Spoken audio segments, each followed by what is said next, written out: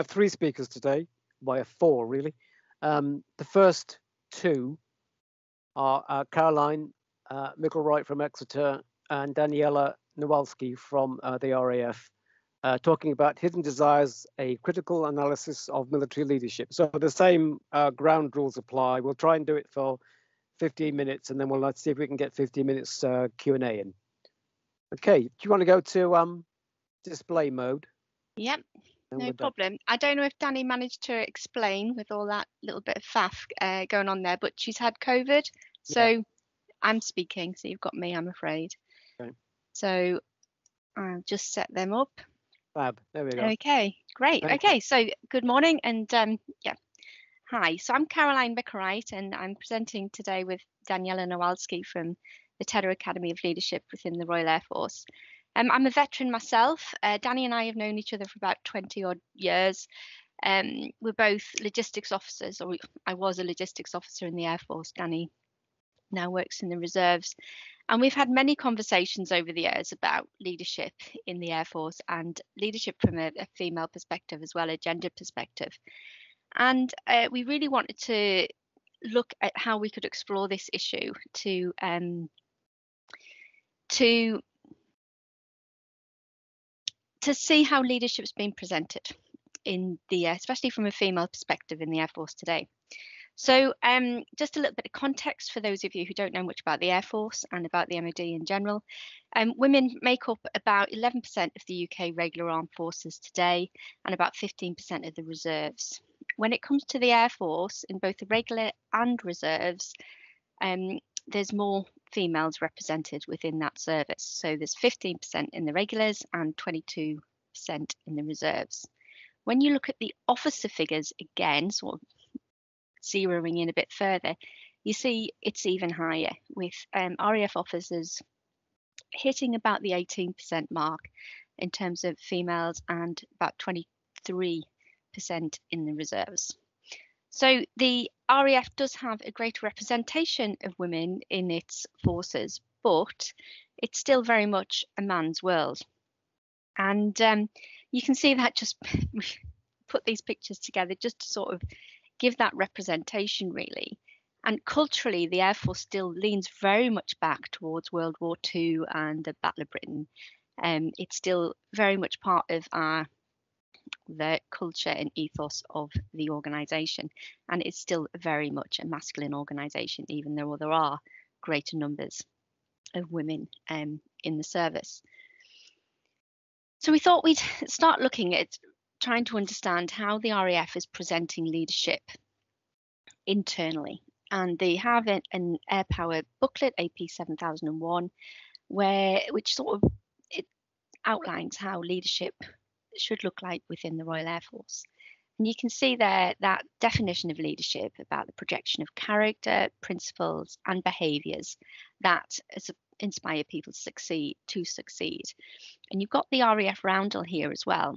and a lot of thought went into this, creating this roundel a couple of years ago, and trying to make the language more inclusive in terms of leadership. So trying to get away from those binary masculine masculine ideas of what leadership is and how it should be presented. And you can see that in the um, the choice of the words here, the behaviors on the outer rim, the capacities on the white ring, and the principles within the, the core there. And you can see also you've got words like empowering and connecting um, within within the roundel itself. You know, not not so much about trying to move away from that idea of of delivering and um, focused, but it still does have that that that masculine dimension, obviously, because it is the military. So you still have that warfighter ethos being coming through. So we started to think about how we could look at this leadership within the military and within the Royal Air Force from a theoretical point of view. And, and I proposed to Danny these ideas, uh, uh, um, theoretical ideas from Deleuze and Derrida, in terms of, you know, what does the the Air Force and the military really want? Because I feel very much there's a gap between the words that are used sometimes and the reality on the ground in terms of leadership within the organisation. So we looked at Deleuze and thought, well, the, the Air Force says it has this desire, but but how is that working and who is it working for when it comes when it comes to talking about leadership? And then to add that critical dimension, I really wanted to look at um, to use Derrida to understand the absence, the absent presence. So they present one perspective, but what are they actually? What's behind the story? To look at dig a little bit deeper. So we looked at the official narrative, and you know, as I've explained, the RAF's trying to um, inculcate diversity within the organisation. It's really putting a lot of effort into recruitment of more diverse groups of people. It holds numerous webinars, conferences, presentations, talks, discussions at station level and across the organisation, trying to to understand how they can be disruptive thinkers. Um, I don't know if you've heard about um, the Astra project. Oh, I'm going on a bit too quick there. Um, the Astra project part of that, which we can discuss later if we have time. But it's all about breaking down barriers to unconscious bias and thought cages and thinking differently, deciding differently in order to lead differently. So this is the official narrative that's come across. And it does have its its spoken desires. You know, it wants to represent society by gender, across gender and other characteristics. It doesn't have any set targets. The Ministry of Defence did have targets, which um, it failed to meet up until 2020. That was to get 15% of all new recruits into the military to be female, and they also had um, targets as well for increasing diversity across the piece. They failed on, on both counts to meet those targets, but they were they weren't too far off it. But the Air Force already had over 15% of its members um, females, so it was trying to hit 20, and it again, it didn't quite make that.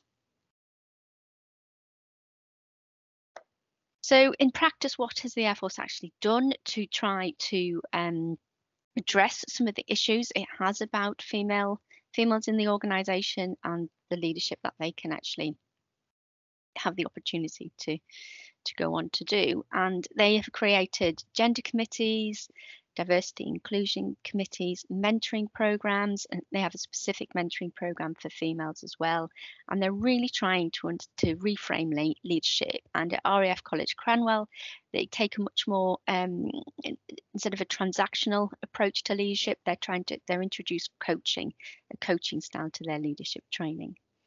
They've introduced, and a lot of these um, policies across are across um, defence as well, not just the Royal Air Force, but flexible working, flexible service, wraparound childcare, shared shared maternity leave, and even you know changing how we how women can look in the military from you know no longer having to wear hair in buns, but actually being a bit softer in their approach with wearing ponytails and plaits. But there is a counter narrative to all this, and we've seen that in um, a lot of the reports that have come out in recent years. So we had the House of Commons Defence Committee's report on women in the Air Force, sorry, women in the Ministry of Defence and how they get treated, and um, bullying and sexual harassment, and their lack of promotion, and a whole raft of issues. Um, I think the important thing here to note is that we are um, still struggling to get women into the highest ranks, and the the change has is glacial. It's been described as, and there are only, just for example, there are only 14 female aircrew at the rank of wing commander and above in the Royal Air Force, despite female fighter pilots being in the Air Force for over 25 years. So we are we do have problems and we're not alone in having these kind of problems in the UK military. There are similar issues in the Australian forces in the American Canadian it, it's South African. There continues to be issues surrounding having women in the, the armed forces that the ministries are failing to address. And it has a an impact on not just on the ability of women to lead within the organisation, but it has an impact on their personal lives as well. So you see that um, just that second to bottom line there, female military leaders are less likely to have children than male leaders. 90% of men at OF5 rank have children compared to only 10% of women at the same rank. So it has an impact beyond the military organisation into family life.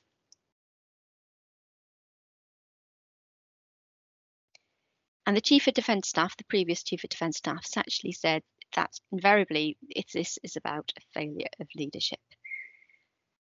So understanding all that context, um, Danny and I were trying to understand how we could measure and understand how leadership is presented and portrayed within the Royal Air Force from that female perspective.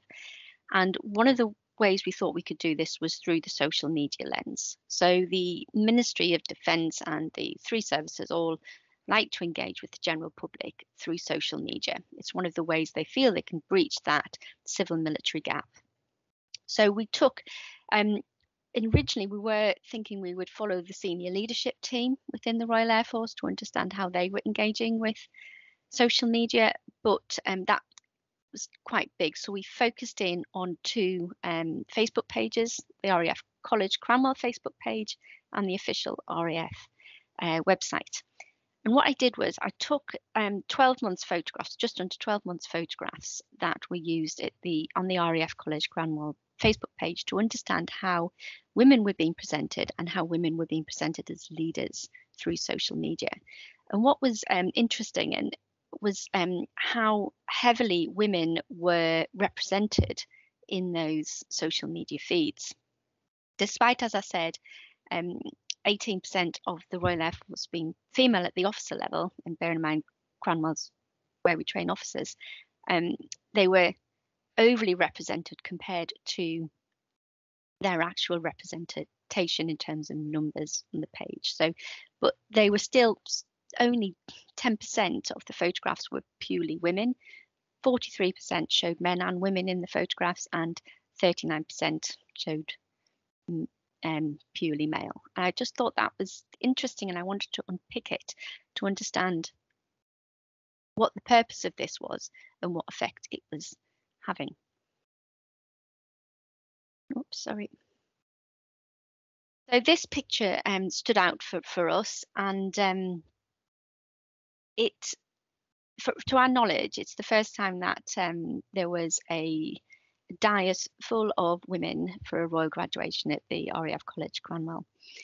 And um, what I was really interested in, and, and Danny and I discussed, is the the comments that were put on to um, the social media in response to the photograph. And you see, um, I've actually made a bit of a mistake here. Sorry, this this line here, "Love this a dais of hardworking female role models," was actually made by a man um, and all the blue um, comments there were made by men, and the the red ones, the iconic, powerful women, very inspirational, were by women. So there was a, a very clear difference between um, how women and men were responding to this picture, with just the one man making a positive comment.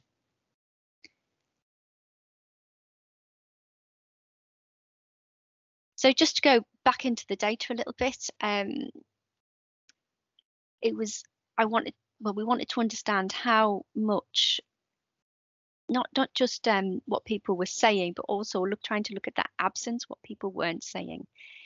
And you can see here with the RAF College Facebook page, it has 20,000 followers. There was only 240 likes when it came to that picture, and um, but the, the comments were, you know, one third um, negative, two thirds positive. And on the RAF Facebook page, which also picked up on that particular picture, um, similarly, it had uh, a balance, a more balanced um, comments between negative and positive. And the RAF Facebook page has 700,000 followers, and it got this particular picture got 1.4 thousand likes. So we have, although there's a, there is evidence of people engaging with these pictures, there's a lot more people who don't engage. So that sort of put a bit of a question mark. Um, also, there was the negative comments within the RAF Facebook page were actually not necessarily about female officers, but about officers in general. So I felt there's almost a class issue going on here. Um, you know, calling officers Rodneys, Ruperts, etc. So um, I know my time's nearly up, so I'm going to be really quick. But just draw your attention to the right on to the right, that little conversation that took place there, and you see the the silencing of discussion. You know, uh, the the refusal of the individual to engage into the conversation. Um, so very quickly, um, from a Deleuzian perspective, you know, whether desire works, how it works, and who it works for, um, the RAF's desire to increase female recruits has failed. Um, I feel there's a that overpopulating social media with women is actually giving not only giving a false representation of the organisation, but creating a backlash because um, social climate doesn't really allow people to have a, a, debate about these issues without, you know, the cancel culture coming into play. And I think that, in a way, can actually perpetuate the status quo. And if we look at it from a from Derrida's perspective, the, the identification of the absent present, you have this false narrative, I think, of female empowerment. But that picture of them on the dais as well, it's very much masculine performativity. So it's yes, it's women on the dais, but they're still performing masculine ideas of leadership. So in doing that, are the RAF actually reinforcing binary divisions in how females are represented? And what does all this mean in terms of leadership?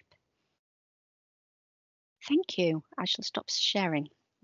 Thanks, thanks very much, Caroline. It was great. While uh, while everybody else thinks about what the, the question might be, can I just ask you um, one, which is to think about um, one of the things that is constantly reiterated about the RAF is the kind of foundational myth. So all, all countries and organizations have foundational myths. And I think one of the strongest in the RAF is the Battle of Britain.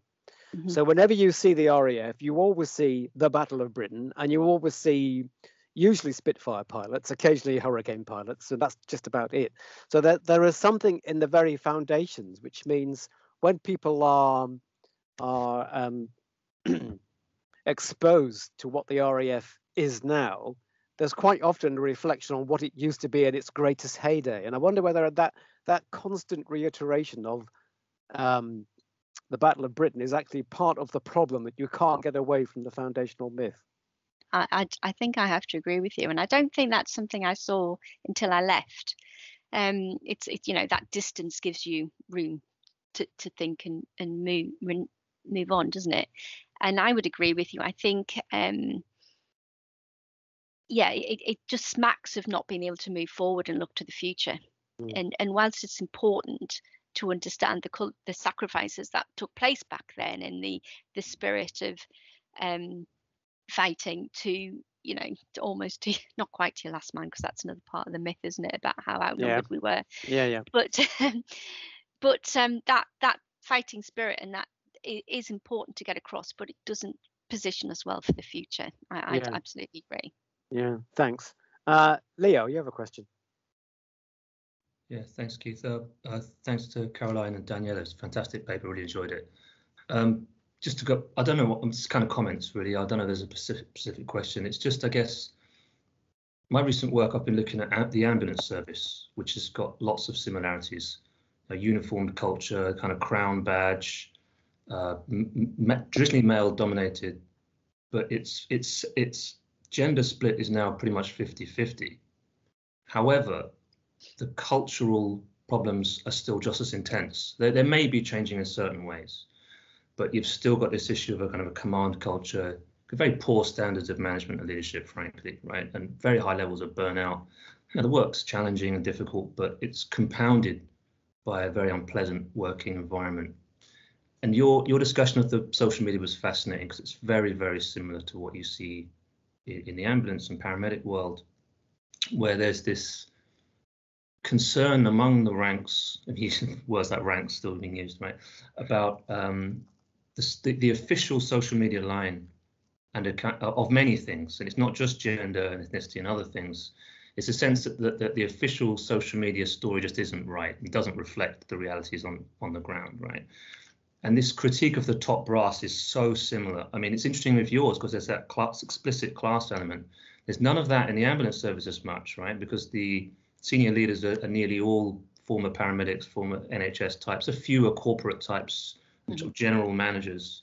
But again, they're they're held, they're held in a in a kind of low level of esteem among among the workforce, right? So you get a very similar kind of dynamic, and I and I wonder, um, yes, RAF MOD is trying to change, trying to adapt, trying to become more flexible, agile, all the, all the things that it's supposed to do, more, more, more equal, more diverse. But there's this uniformed culture that to me, I think is just fundamental to all of these types of organization where they're that bit harder to change than other other organizations, right? So there's that entrenched nature of loyalty, rank, insignia, the symbolism. It's like so heavily infused, right? And um, I wonder if, as, as, so my question, getting into the rambling thing, that my, my question, I mean, I, so much resonated with, with what I've looked at, so similar. The question, I guess, is, would would you, how far do you want to take this in terms of maybe outside of leadership and into sociology of work, organizational culture? Because the, the two there's two separate literatures in a way. And I wonder if a deeper kind of run into kind of organizational culture, uniformed culture, things like Lewis Coser's idea of the greedy institution, mm-hmm. one of these things might help you really bring this out because I would imagine if, if you if, if you increase the ratio improve the ratio of gender split in the organization, I think you'll still have this chronic culture problem. Oh, we would. I, I, I, got, suspect, I, suspect, I've got no doubt about that. So my previous research, I've I've used the greedy institution, I mean, Coser's work, and you know, you look outside into um, professions like veterinary surgeons or um, doctors, lawyers, you still see that actually there's more women entering these professions, but the culture hasn't changed and um, I've no doubt that I, it's quite interesting because I think military personnel, military men, and some women are actually scared by the prospect of having more females in the organisation because they think the culture is going to change. But I think it will,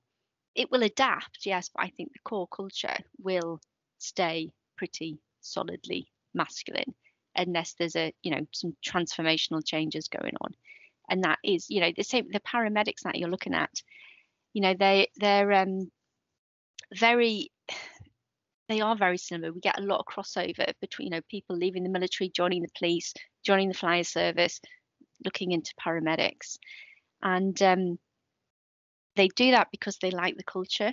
They like that military militarization almost of civilian life in a way. They can carry it over with them when they move across, and it is a it is a social issue. You know, you get socialized into the military, you get socialized to behave this way, and your behaviors are um what's the I'm looking for? As an officer, especially, you're constantly aware if you've, you've been watched and being judged on your behavior as an officer. And if you don't meet those standards, then you know you know you won't get on very well within the organization. So it's just trying to understand for us how you know are they are by by over representing women you know are they are, is the air force doing any women any favors because women are still being expected to behave in a masculine way within the institution if I just jump back on that last bit. Can, that, can, can we? Uh, sorry, Leo. Can we? Sure. we have five minutes left. I of course, we yeah. just we just get Victor Perez who has a question, and then if we if that runs out, we'll come back to that point. Thank you very much, uh, Victor. Hi, thank you. uh, thank you for your presentation. That was really interesting. And I was thinking about the concept of desire. In, in the Deleuzian sense, desire is a sort of striving force, a productive force. So desire produces something. And Deleuze also draws on Spinoza on his idea of desire, of as this sort of affect in which bodies or entities aim to strive for to stay alive, the, the conatus, as Spinoza says. So I was wondering about uh, this concept and whether you have further reflections about the different currents of desire clashing in this sort of, of environment because we have the striving force from maybe from the woman's side and also from the institutional side and both desires produce something and maybe they clash. you know, at some point. So, do you have any further reflections about that, or? And I think that's where the violence comes from. I think when you look within the military culture, um, you know, for all the military will say it's a team and um, it prioritizes teamwork and this idea, this concept of the military family and looking after each other. You know, if you look deeper in the House of Commons Select Committee report um, into protecting women in the armed forces, it's it's shocking that today we we're still we're dealing with these these things because um, if you're part of a team and you're part of a family, then you shouldn't be well ra- raping each other and you shouldn't be um, bullying each other and you shouldn't be submitted, submitting people to, to sexual harassment and other awful things that, that have happened within the military. And that's that clash happening, I think, and that's the result of the, these different desires um, playing out. And my concern is that because this this uh, need, social need to increase the number of women in the military is being pushed and it's come from society. It's not coming from internal, from the Ministry of Defence. They've never taken change on voluntarily ever when it comes to accepting women into the forces. It's always been forced upon them. And because it's being forced upon them, they're not having a proper discussion about what it means. And they're not addressing people's concerns and because of that i think that's the, the out the result of that is the, this awful environment and culture this subculture going on within the organization does that answer your question yes thank you thank you uh, daniela yeah, I was just going to follow up on, on the desire point. You know, you're, you're absolutely right. You, Caroline was saying we, we strive for this um, cohesion on the battlefield because at the end of the day, what separates us from all those other services, the the, um, the paramedics and, and whatever is we do ask you know, the ultimate price of people and we do ask them to go off and fight, which is what we do at the end of the day. But um, that desire for the cohesion, that fighting force on the battlefield, is absolutely at odds with the desire for cohesion in the day-to-day workplace because we don't ask that of people every day. We are essentially, you know, a force for for good. Um, how do you not have that that war fighting, that that the idea that softer side in the crew room where we're not manifesting it in inappropriate behaviors towards uh, females that are serving because you are so testosterone and so male driven in your in your desire for for um for for for power. But um that that desire to have more female desires in so many ways can be unpicked here. You know, you desire to have more females and that female perspective and that female thinking, but then you don't want it when you, you you've got to ask them to go away, but they've got children or they've got childcare issues or they've got um, menopause issues and all these sort of things. You can't have your your cake and eat it, and that's the problem that we're in, and, and that will be a fundamental cultural change. Okay, um, one minute to go. Let me just um, let me just choose masculine dominance to finish this off. So I, I was reading um, a section of the Astra paper, which I think is the kind of strategic, forward-looking RAF thing, isn't it, at the moment? And I, and I noticed a, a nice little bit which said one of the desires of the RAF is to have hot water in all its establishments. And I'm thinking, so you can waste, spend 90 million on a plane which falls off a ship that's not a big problem but trying that was to the have fleet air arm try, trying to have hot water yeah. in your yeah. in your yeah. offices yeah. is just beyond them which yeah. I think tells you about where the preferences actually lie and I, I think it's you know that God we could unpick the RAF infrastructure problems all day it's you know, money devolved to a different organization, they fix it on failing, but then they're too busy building another runway. But that's another that's another conversation. Yeah, it is. It is. Just, All right. It's people at the end of the day, isn't it? How can yeah. you expect them to lead when they can't have a hot shower? Thank you very much. Oh, great, great start. Um, okay, thank you very much. Would you take those um, slides uh, down, please? That would be great.